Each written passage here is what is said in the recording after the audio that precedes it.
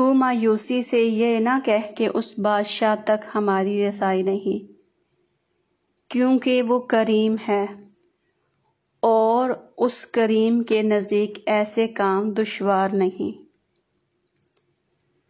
पाक है मेरा रब जो हमारे दिलों का हाल जानता है, मगर फिर भी हमें दुनिया के सामने रुसवा नहीं करता। दिलों में बसने वाले तो फूलों के जैसे होते हैं। दुनिया से चले भी जाएँ तो पीछे यादों की खुशबू छोड़ जाते हैं।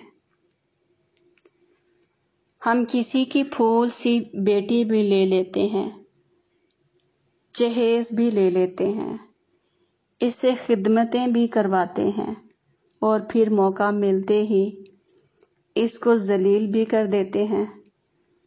ज़रा नहीं, पूरा सोचें।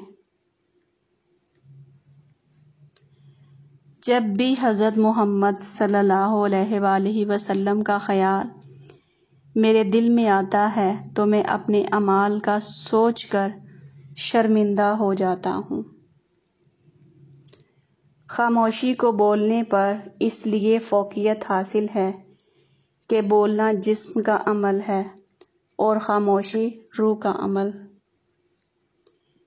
कितने लोग हैं जो समंदरों की तरह बोलते हैं, मगर इनकी सोच गंदे जोहरों की तरह महदूद है।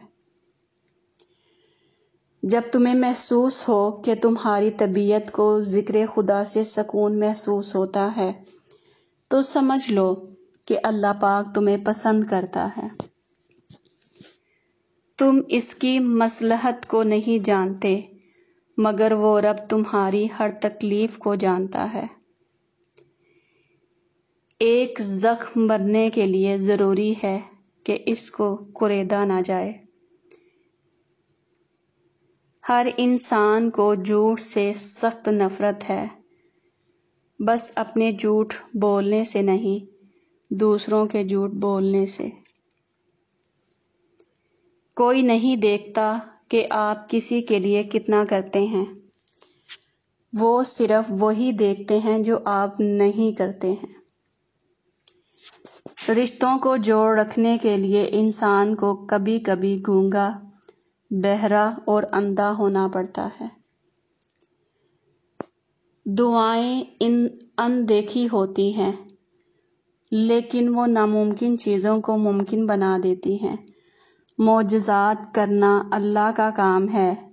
हमारा काम बहुत आसान है। दुआ, यकीन और सब्र।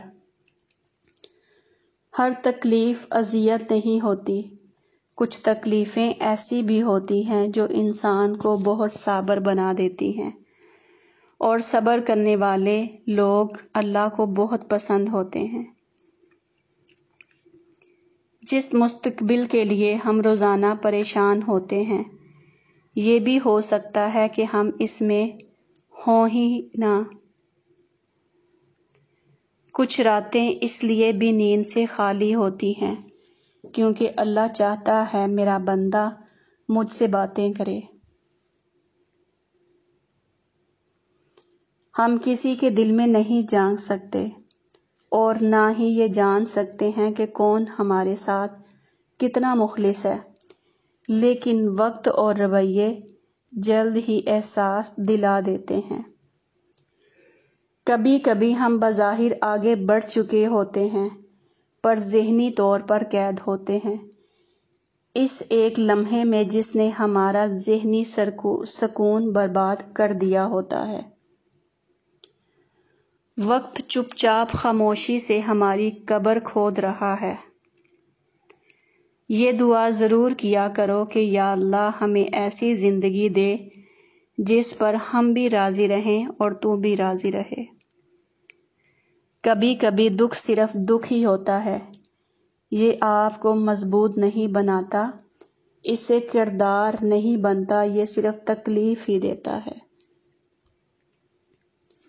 तुम्हें परों के साथ पैदा किया गया है। तुम क्यों ज़िंदगी में रेंगने को तरजीह देते हो? एक वक्त ऐसा भी आएगा, तुम सब्र करते करते अल्लाह के इतने करीब हो जाओगे कि अभी दुआ दिल में ही होगी और अल्लाह पाक कुन फरमा देगा। और फिर एक वक्त ऐसा भी आता है जब आपको लगता है आप अकेली ही ठीक हैं। कोई ज़िद नहीं रहती, कोई ख्वाहिश नहीं रहती, किसी का साथ नहीं चाहिए होता। फिर हम सब नसीब पर छोड़कर जीने लगते हैं। दोस्तियों का इंतखब बहुत सोच समझ कर किया करो, क्योंकि दरअसल तुम अपने जनाजे की पहली सफ़ का इंतखब कर रहे होते हो। अपनों की तरफ़ से धोखा इंसान को टुकड़े टुकड़े कर देता है। खटखटाओ, वो दरवाज़ा खोल देगा। मिट जाओ, वो सूरज की तरह चमका देगा।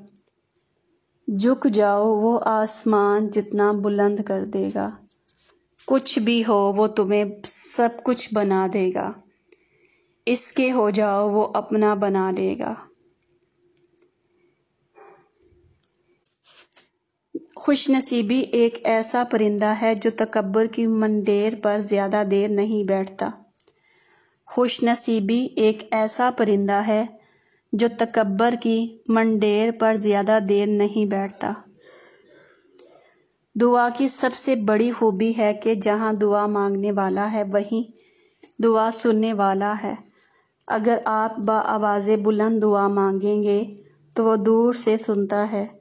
अगर दिल ही दिल में मांगें तो वो वहीं मौजूद होता है। इबादत का कोई असूल नहीं। वो हर इस आवाज़ को सुनता है जो मुखलिस दिल से निकली हो। इंसान अपनी दुआओं से ही अपना मुकद्दर लिखता है और इंसान की दुआएँ ही इंसान तक वो सब कुछ ले आती हैं जो इसके नसीब में भी नहीं होता। मैं अपनी माँ से मोहब्बत क्यों ना करूँ, जिसने पहले मुझे अपने जिस्म में, फिर अपने हाथों में और फिर ज़िंदगी भर के लिए अपने दिल में रखा। रिस्क में ऐप ना निकालें, पसंद नहीं तो मत खाएँ। ये नेमतें अल्लाह ने दी हैं, इन पर अल्लाह का शुक्र अदा करें, क्योंकि किसी को ये भी नसीब नहीं है। तुम्हारी मुश्किल आसान जितनी तुम्हारी मुश्किल आसमान जितनी बड़ी क्यों ना हो, अगर तुम्हारा यकीन अल्लाह पर है तो कोई भी तुमको हरा नहीं सकता। लोगों का शिकवा ना करो, बल्कि ख़ुद को बदलो। पाँव को मट्टी से बचाने का तरीका जूता पहनना है, ना कि सारे शहर में कालीन बिछाना। तीन चीज़ें कभी वापस नहीं आती। बोले गए अल्फाज गुज़रा हुआ वक्त और टूटा हुआ भरोसा। अगर कोई तुमसे नाराज़ है और उसे इस बात का गरूर है कि तुम उसे मना लोगे तो उसके गरूर को टूटने मत देना। तकदीर के लिखे जाने पर यकीन है तो तकदीर लिखने वाले पर भी तवक्ल करना सीखो। दिल में खोट हो तो दुआ, अता और मोहब्बत तीनों रास्ता बदल लेती हैं। जब बंदा मुखलिस हो तो इज़्ज़त अल्लाह पाक देता है। खुदा जब किसी बदबख्त को दुख देना चाहे तो वो बदकिस्मत, नाशुक्री का रास्ता इख्तियार कर लेता है। तो वो बदकिस्मत, नाशुक्री का रास्ता इख्तियार कर लेता है। एक हद के बाद तो इंसान सब कुछ छोड़ देता है।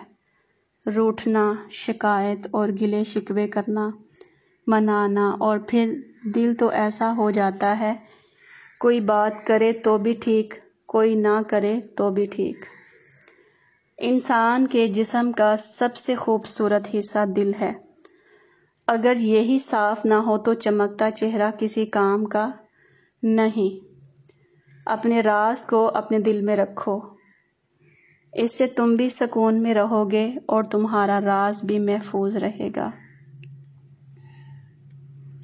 मोहब्बत मट्टी के बने रंग बरंगे चेहरे देख कर नहीं होती, बल्कि रूह से होती है।